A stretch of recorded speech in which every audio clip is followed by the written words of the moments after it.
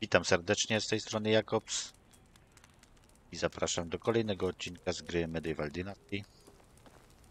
Ostatni odcinek skończyliśmy Tambora, który jeszcze śpi. I dlatego idziemy sobie. Kraść? Dobra, nie będziemy krać. Mamy wrócić do Wi.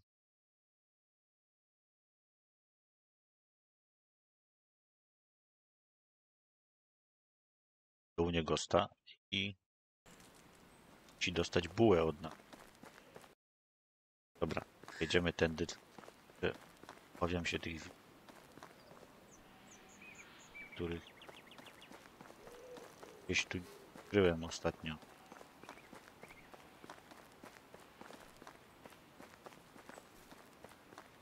Chcę się spotkać z nim.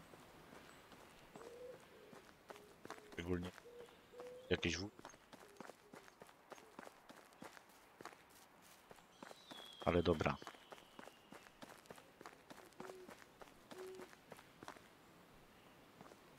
Pełen.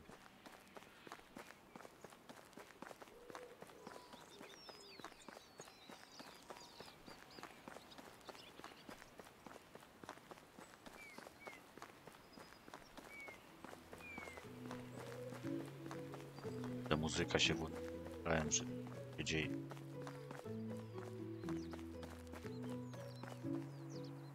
Biegnij tam, dasz radę. Dobrze, wrócimy do Uniegosta. Wiemy. Zobaczymy, co on powie. Co zrobi.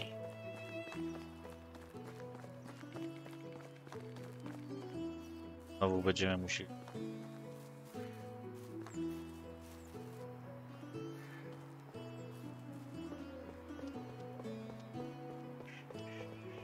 bielik.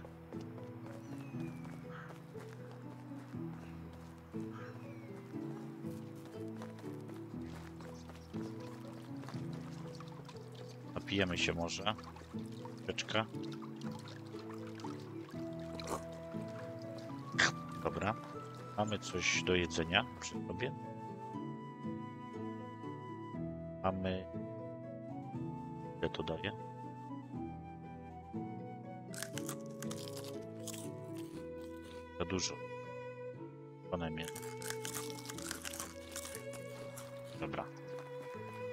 Coś tam pojedliśmy.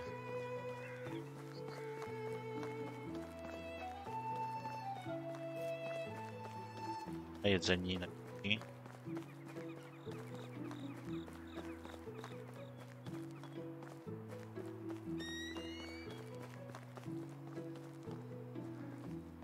Fajne odgłosy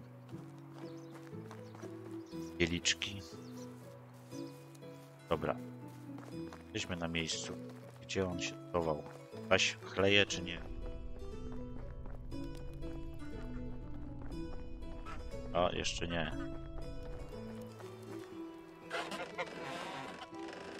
Dawaj, ile będziesz spał. Zawsze miło cię widzieć, Racimirze. Niego witaj, rozmawiałem z Samborem. Prawdziwy z niego słodziak, prawda? Najsłod... Najsłodszy, niczym z miodu. Cały nasz Sambor. Rozumiem, opowiedział mi za to, to nieco o moim wuju. Podzielił się historią o panu Sadów. Ma niespodziewane dobre umiejętności narracyjne, prawda? Tak, naprawdę ma. Byłem tam całkowicie zdumiony. Pewnego razu przysięgam, że przeżył ponad rok bez wypowiedzenia chociażby jednego słowa. Aż nagle któregoś dnia, gdy siedzieliśmy przy ogniu, przypomniała mu się pewna anegdota. anegdota. Zaśmiał się na głos i rozpoczął opowieść. Zamienił się z niemiłego mruka w podzireja.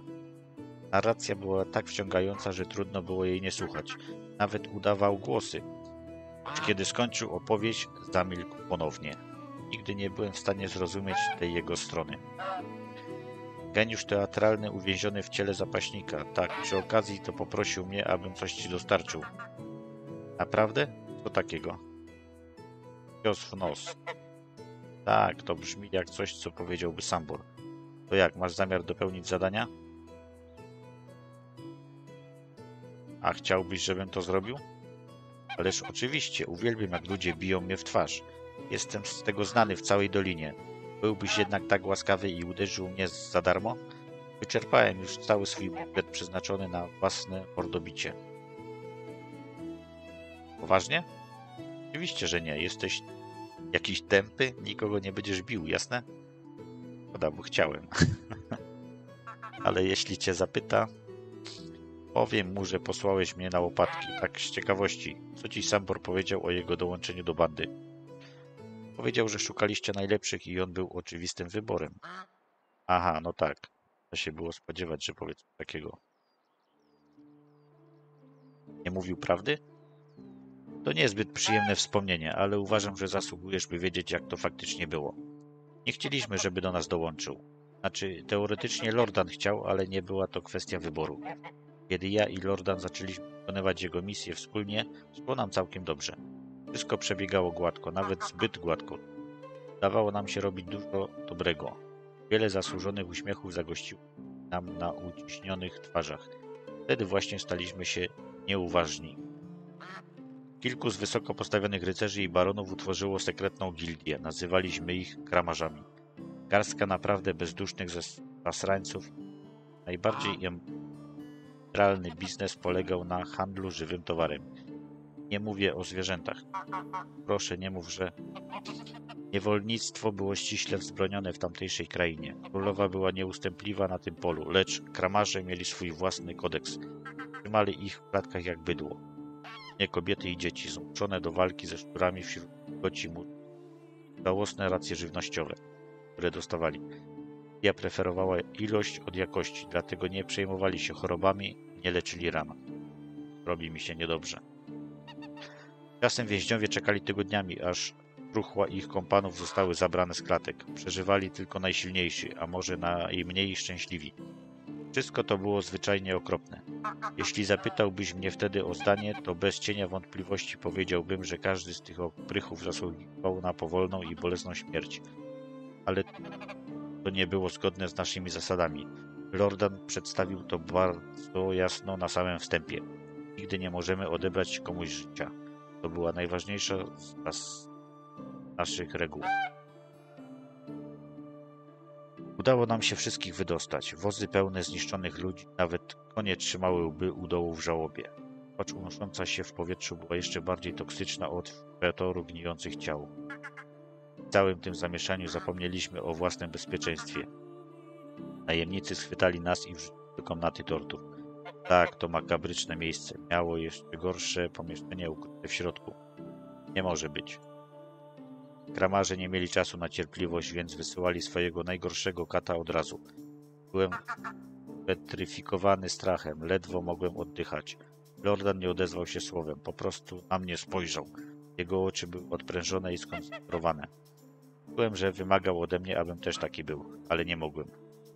Wzięli go jako pierwszego. Kat przywiązał go do krzesła i zaczął wymierzać razy. Jego pięści były niczym kowadła. Każde uderzenie łamało kości albo uciekało krew. Kilka chwil twarz Lordana przemieniła się w krwawą miazgę.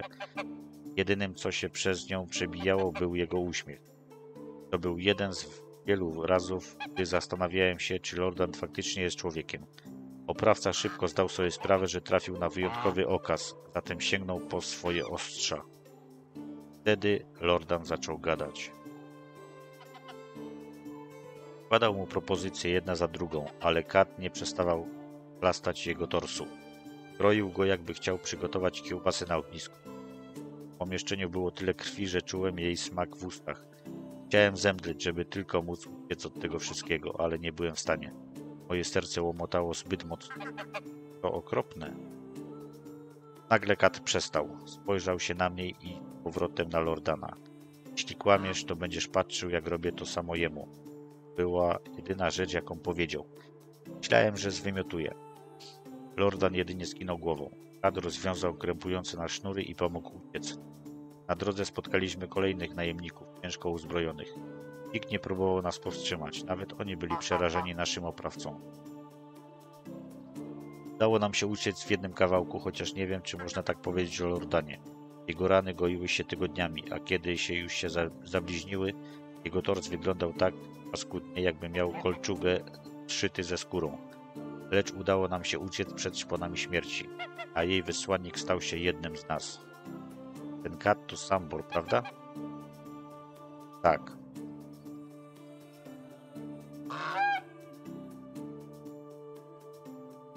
Nie mam słów. Tak potwornie mi przykro, że to was spotkało. Niepotrzebnie. Ścieżka, którą obraliśmy, to był nasz wybór. Znaliśmy ryzyko. Jak mogliście przyjąć kogoś takiego do bandy?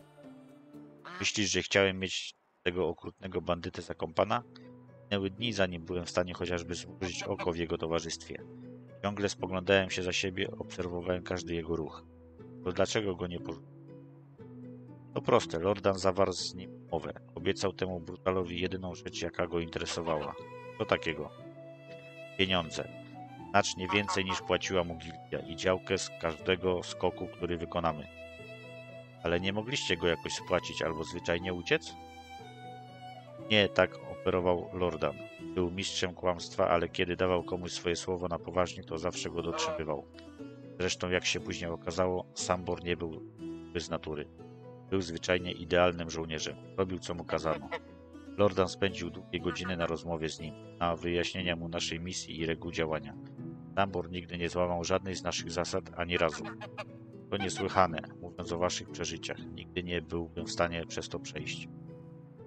Szczere. Mam oglom, ogromną nadzieję, że nikt nie będziesz musiał. Przeżyliśmy naprawdę dużo i po tych wszystkich latach to czegoś życzę ci najbardziej to nudne, stabilne życie.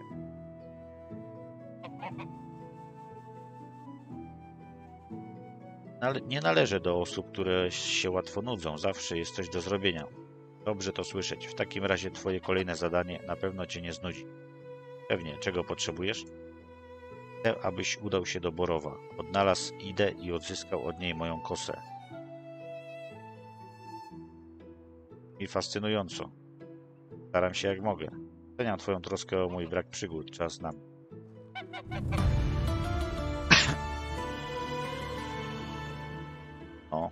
Kosa to jest...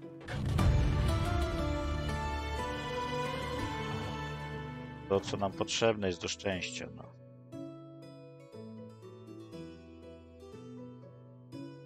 To mamy to na razie.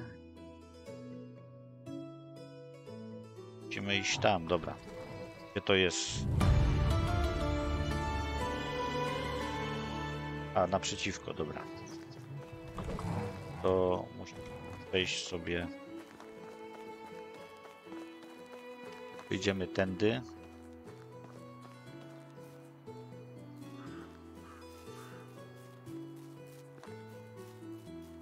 Tam był most, ale dobra.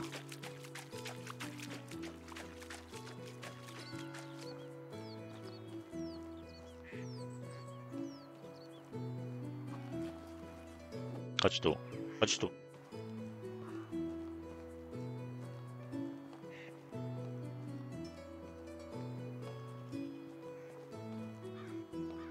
Ida. Idę do ciebie, Ida.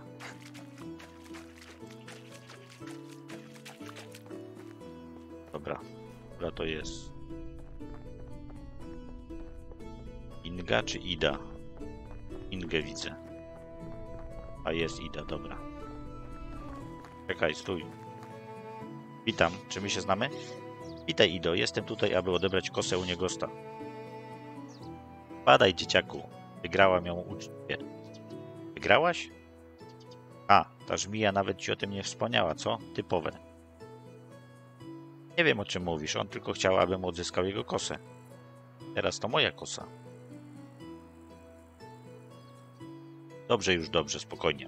Co mogę zrobić, aby zdobyć twoją kosę w takim razie? Możesz ją ode mnie kupić, rzecz jasna, albo możemy o nią zagrać. Co to za gra? Ta sama, w której u niego sprzegrał swoje ostatnie pieniądze i kosę. Aha, gra zagadek. Dobra. Jak się w nią gra? Proste, opowiem ci trzy zagadki. Musisz odgadnąć je wszystkie poprawnie. Jeden błąd i gra się kończy. Jak wygrasz, to dost... A jak przegram? Na, na początek dam ci taryfę ulgową. Jeśli przegrasz, to nic się nie stanie. Po prostu stracisz możliwość wygrania kosy za darmo. No dobra. Pierwsza zagadka. Gdy wypowiesz jej imię, ona umiera. Co to jest?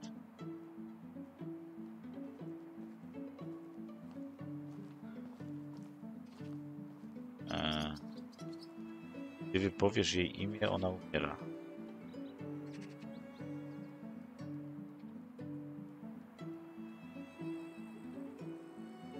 Ale zagadka. Powiesz jej imię, ona Trza, tak? Tak. Dobra odpowiedź. Gotowy na kolejną? Rosnę, gdy mnie karmisz, jednak daj mi coś do picia, a o. Rosnę, gdy mnie karmisz. Zależność, tak. Picie.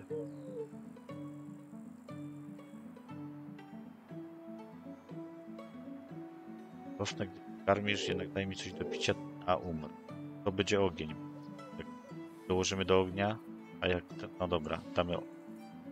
Okej. O proszę, jesteś niezły, lepszy niż pan wielki kasztelan. Ale czy dasz radę z tą ostatnią? Słuchaj uważnie. Potrafię latać, lecz nie mam skrzydeł. Potrafię płakać, lecz nie mam oczu. Gdziekolwiek zmierzam, ciemność podąża za mną. Czym jestem?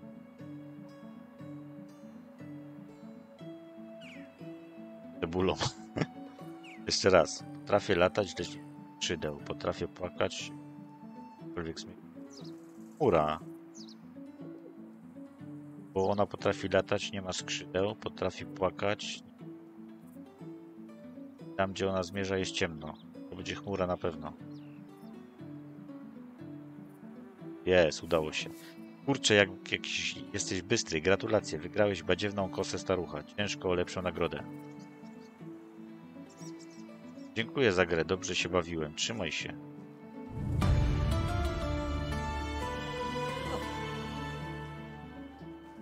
Gitara, elegancko. Dobra, co tu siedzą za chłopki? O, rybak jaki.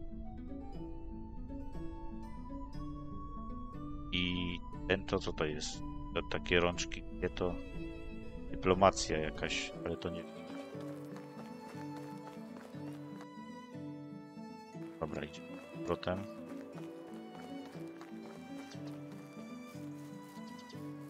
Mój. A tu jakiś beczek? Chyba tutaj są, nie wiem. Beczki? Nie. Na darmo nie leciał znowu. Nie, to kamienie. Dobra.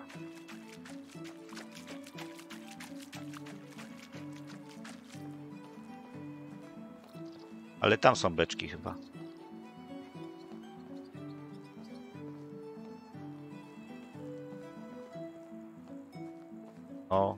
Biegać pod wodą? Tak, to są beczki.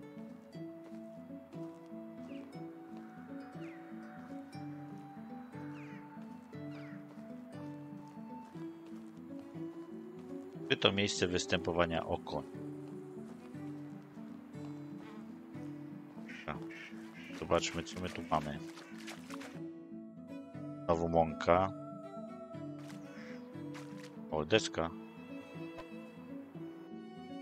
Znowu mąka. Okej, okay, dobra.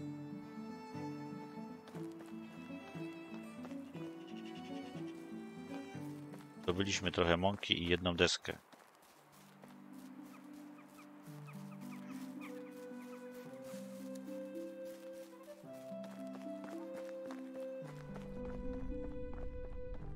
A co ty dzisiaj? Pijesz browara? Znaczy wina? Już wróciłeś? Cześć u niego mam twoją kosę. Śmienicie, czy napotkałeś po drodze jakieś problemy? Ty mi powiedz. Mogłem pominąć malutki, ciutki detal. Czyżby, o proszę. Jak w takim razie odzyskałeś kosę? Pomocy mojego umysłu. W takim razie jesteś bystrzejszy ode mnie. To była kiedykolwiek kwestia sporna? Nie bądź pyszałkowaty, dzieciaku. Tak czy siak mam wieści, sam burci. Nie? Jesteś pewien? Doszły do mnie słuchy, że szuka tego z śmiesznymi oczami i głupią twarzą. Rozumiem, w takim razie lepiej pójdę, żeby nie przedłużać tego upokorzenia.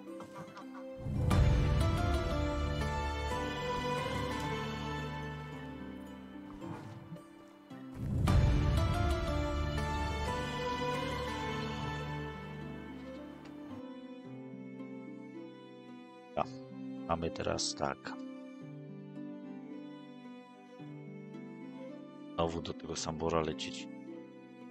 To jest sez- lata. Tam coś wpadło. Damy sobie tutaj. Jedno. Okej, tu mam. Już tu jest. Jawnia osobowości NPC-ów podczas rozmów. 10% korzystniejsze ceny wydarzy i kup. To może. Stacja dyna. Jakiś flirt.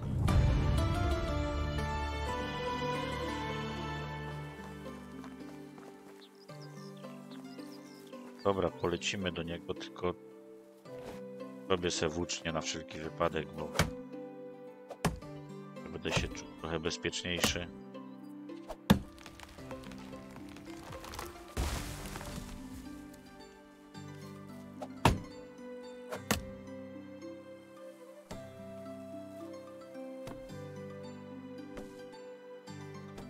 Tego wypadają 4.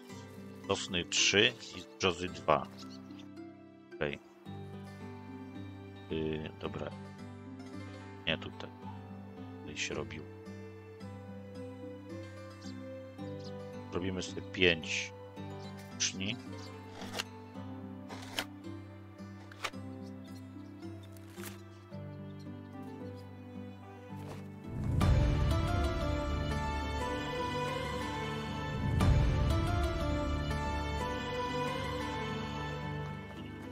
Warsztat się od- odblokował. Co my tu mamy? 5% szansy na znalezienie dodatkowych skarbów.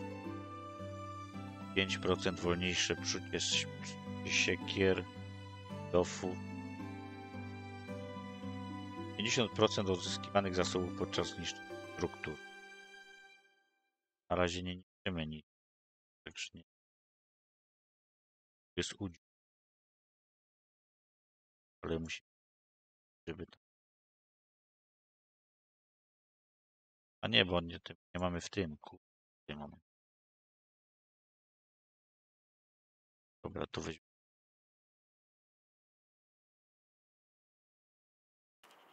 Maxa.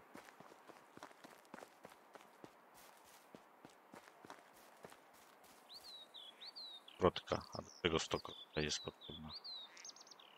Weź jedno.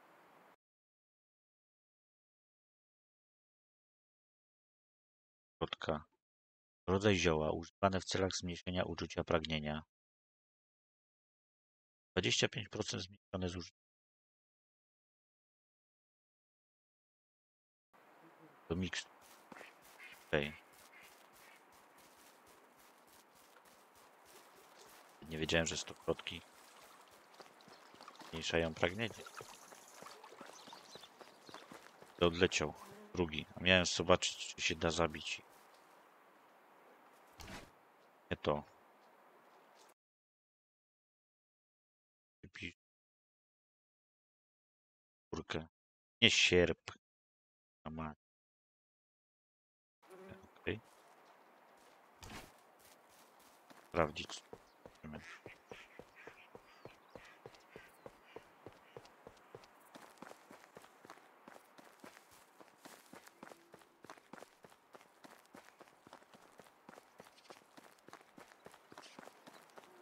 Zobaczy. Kieliki.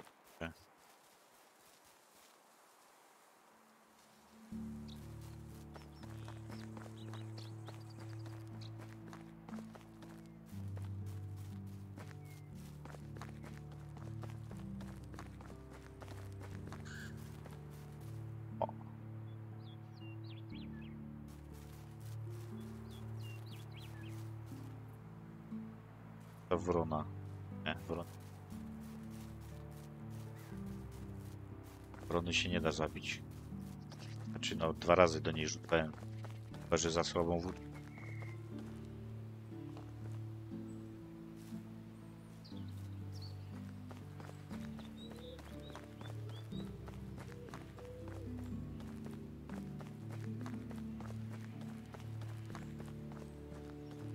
Być. Dobra. Tambor, jesteś. Idę do ciebie. Potoczył.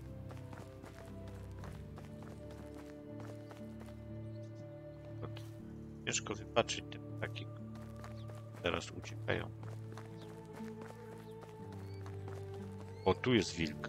Tę mać. Dobra. Polisek. Dobra, ale z wilkiem to nie chcę na razie walczyć. Chcę skończyć.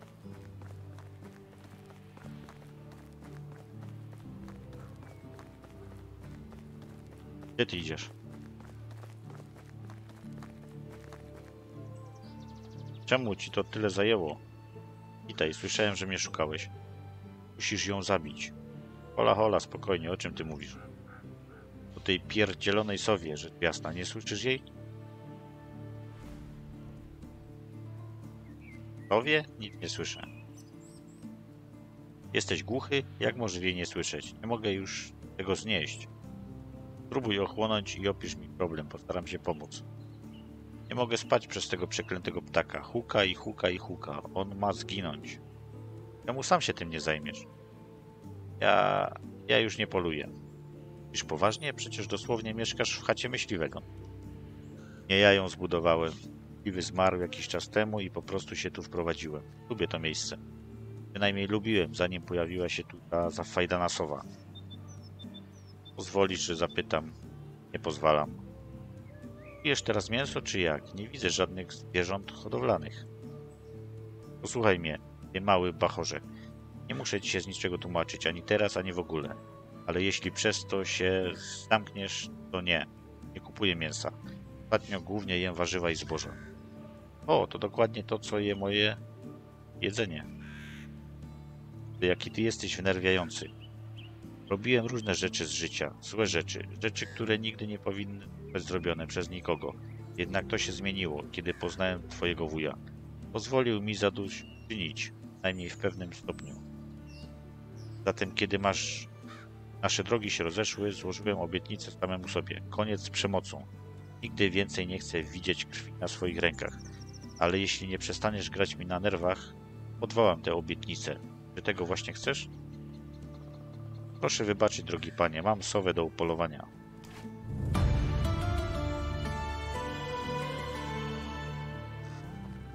Ja mam sowę.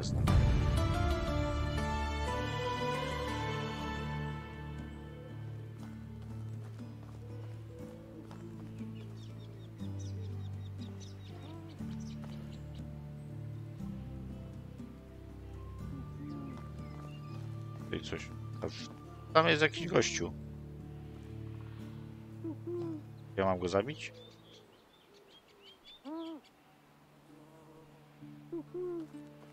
Uhu.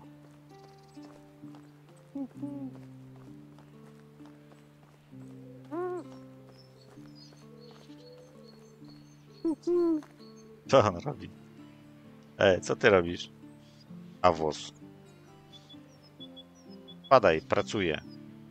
Co ty tu robisz? Nie twój interes. Och, wydaje mi się, że mój. To ty jesteś tą przeklętą sową? Nie wiem, o czym mówisz, kolego. Na twoim miejscu bym stąd poszedł. Ty w ogóle wiesz, co robisz? Tak, zarabiam najłatwiejsze pieniądze w swoim życiu, tylko to mnie obchodzi. Doprawdy? Widzisz, a ja właśnie zostałem wysłany, żeby ukatrupić tę hałaśliwą sowę. Czy to miała być groźba? Zważaj na swoje następne słowa. Skądże znowu, to nie mnie powinien się obawiać, lecz mojego zleceniodawcy. Tak, a kto to niby jest? Sambor. Nie znam żadnego sa... Czekaj, czy ty powiedziałeś Sambor? Dokładnie. Posłuchaj, człowieku, nie chcę żadnych problemów. Ktoś mi zapłacił, żebym tutaj przychodził od czasu do czasu i dawał sowę. Nie miałem pojęcia, że igram z twoim szefem.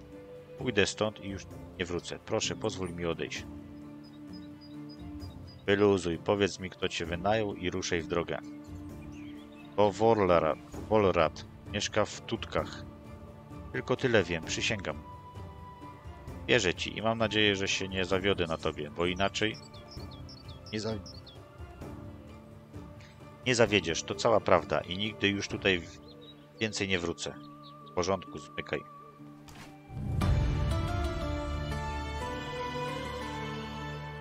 To ci sowa, elegancka. O, tu są te figurki. Czego one są potrzebne? One... Tak, pamiętam. One się... Ale to wtedy się ustawiało gdzieś je, ale one wtedy nie chciały stać za bardzo. Nie wiem, czy to jest jakoś inaczej zrobione. Ale tu tego jest. Ranny. O, jeszcze coś tu leży. Patyki. Na wino. Elka na wino.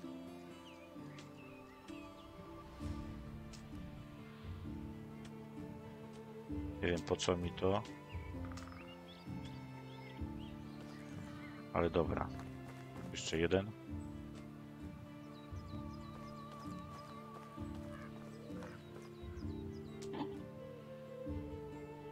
Okej.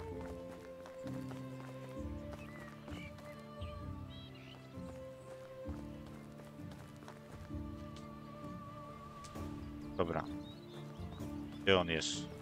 Teraz już czy nie? O, jest.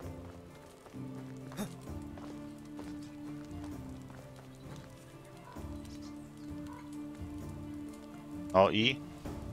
Zająłem się to sową. Martwa? Nie, ale poszedł już więcej nie wróci. Poszedł? Wiem, że to zabrzmi niedorzecznie, ale to nie była tak naprawdę sowa. To był wynajęty mężczyzna, który udawał sowę. Co ty bredzisz? To absurd. Uwierz mi, wiem. Podobno zostało mu to zlecone przez kogoś o imieniu Polorad. Znasz go? Aha, a to ci zasraniec. Naprawdę mnie nabrał. Znasz? Pewnie, że znam. Był jednym z nas. Śmiertelnej pięści. Naprawdę? Sowa powiedział, że mieszka w Tutkach. Tak, to niedaleko stąd. Razem z rodziną sprzedają tam osł. To było oczywistym wyborem, bo sam jest osłem. Chętnie bym go poznał. Poznasz, bo dostarczysz mu ode mnie pewną przesyłkę. Nie ma sprawy, co takiego? Wyjątkowa niespodzianka, ale będziesz musiał po nią wrócić później. Potrzebuję trochę czasu, aby ją przygotować. Właściwie to wróć jutro, zrobię ją zacniejszą. W porządku, do jutra.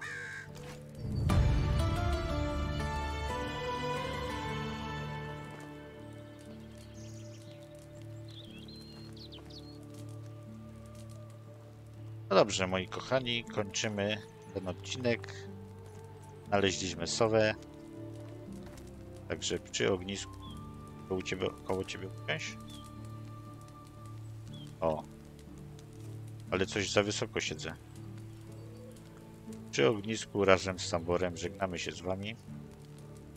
Do zobaczenia, do następnego odcinka. Tego dnia życzę. Cześć.